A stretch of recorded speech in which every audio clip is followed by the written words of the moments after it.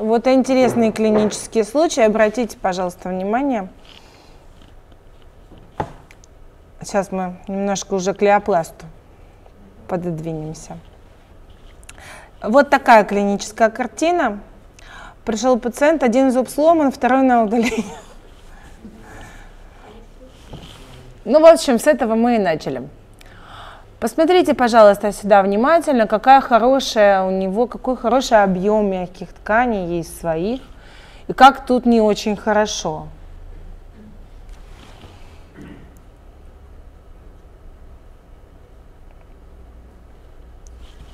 Ну вот здесь видно уже дефицит, да, прикрепленной десны, а здесь у него все прекрасно.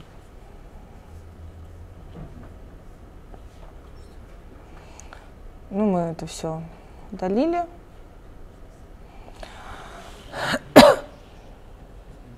Сохранная лунка полностью.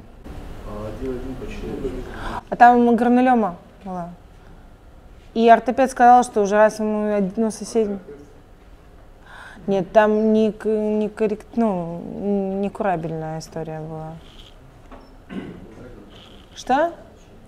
Нет, нет, там не курабельная ситуация, там и кариес корня под коронкой был. Просто, мы просто ее снимали, здесь ее... Ну, не, не.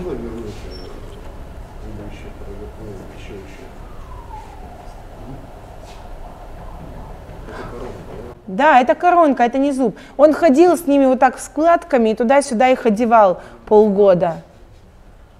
Ну, вы представляете, да, что там вообще было? Нет, там не сохранно. Я, я я всегда за зубы, поверьте. Я вообще всегда за максимальное зубосохранение. Обратите внимание, здесь дефект вестибулярный, кортикальной пластинки. Естественно, ну, я не могла это оставить просто так. Им одномоментная была имплантация. Здесь меня ничего не смутило. Я вообще даже не озадачилась, потому что все прекрасно. А здесь я очень напряглась и поставила туда твердую мозговую оболочку. Сейчас мы поставили. Это я просто понимать, как стояли, как были позиционированы. Обратите внимание, вот здесь имплантат был позиционирован даже более необно, чем вот здесь. То есть, чем, чем 21 11 более вестибулярно был та установка.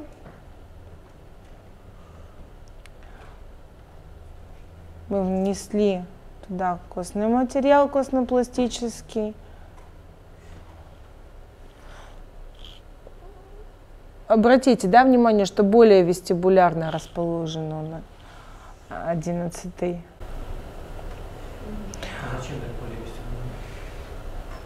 У меня по лунке не, не было возможности по-другому поставить.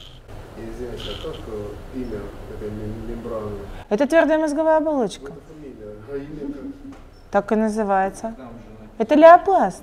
Леопласт? Ну, конечно. Это, твер- это ТМО. Это вот, Алексей, может, подготовьте, пожалуйста, хотя бы что-то показать, а то э, вот, люди даже не знают, как это выглядит. Как не знаю.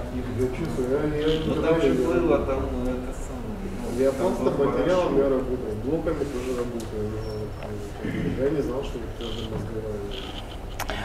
Вот она за- заведена, э, добавлена везде в пространство между э, да, краями лунки, имплантатами костный пластический материал, тоже леопласт, комбинация из материала леопласт. Это временные абатменты. В смысле комбинация кортикального и спондилотного?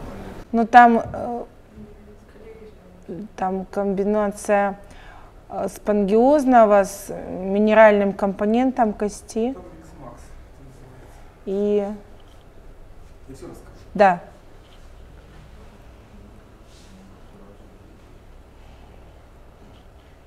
Ну, сшивание. Это временные коронки, это все неинтересно вообще.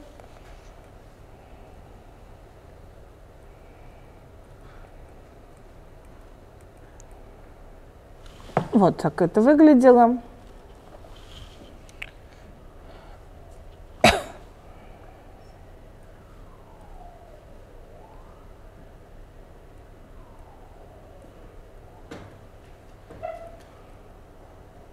После Послеоперационный период был спокойный, все в порядке у нас было.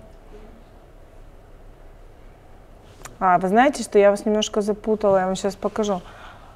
Чем проблема? Мы твердую мозговую оболочку поставили на 21 зуб, вот там, где была перфорация. Там была перфорация кортикальной вестибулярной пластинки, вот туда мы поставили 21 зуб, твердую мозговую оболочку, потому что, видите, прижимающие швы здесь. Я ее тоже прижимаю максимально всегда, стараюсь снаружи к лоскутам. Это на снятие швов.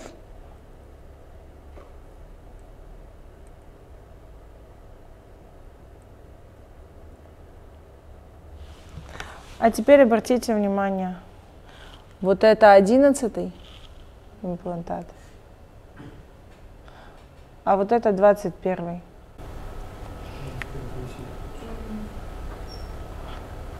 И вот как это выглядит, посмотрите.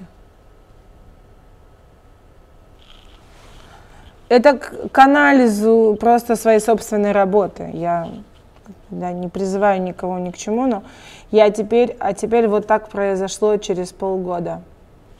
Вот это 21 зуб. Мозговая оболочка, да, вот это? Что? Мозговая оболочка. Но там, да, да, и, и вот это все. И на сегодняшний день, даже если у меня миллиметр и меньше сохранной вестибулярной костной пластинки, я устанавливаю туда все равно твердую мозговую оболочку. Это касается в основном фронтальной группы зубов, эстетической зоны.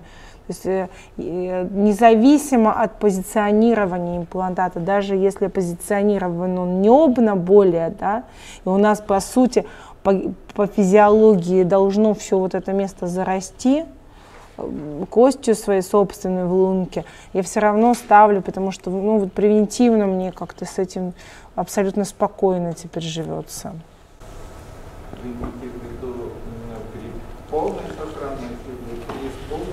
Да, и с полной сохранностью, потому что я пришла к выводу, что даже оставшийся миллиметр, он резорбируется. Какая-то часть резорбции происходит. И вот этот миллиметр, он несостоятелен остается. И если вы видите, что у вас совсем вот это, ну, бывает, да, луночка с экрана, ты ювелирно все удалил, но он как пергамент у вас там.